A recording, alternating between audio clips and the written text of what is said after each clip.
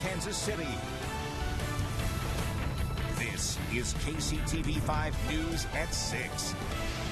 People taking advantage of this gorgeous day in the metro, and there's a chance we could see a little rain. Meteorologist Jesse Hawila will tell us where. They want change, they want something different. Winners and losers, who voters picked at today's caucus, and which races still stand in the balance.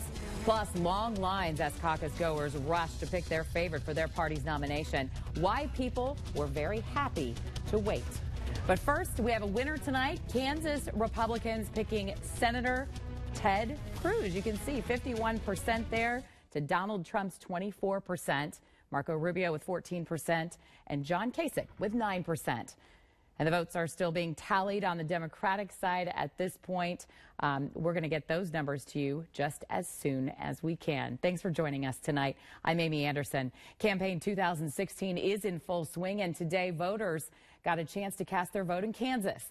We have in-depth coverage on this caucus day. KCTV5's Natalie Davis is live in Olathe covering the Republican turnout, and Elizabeth Rentschler is live in Roeland Park covering the Democrats. We begin tonight with KCTV5's Natalie Davis. She has been watching the Republican caucus where voters flocked to vote for their candidate today. Natalie.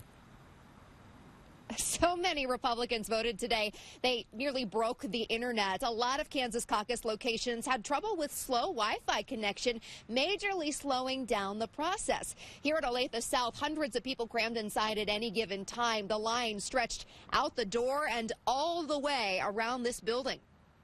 We, we have not moved in 45 minutes. The wait was long, but that didn't stop thousands of Republicans from having their say. I think it's incredibly important to come and be a part of this process. Um, just as a citizen of the United States, it's one of your duties, it's one of your responsibilities. The internet was slow, causing a big backup in the line.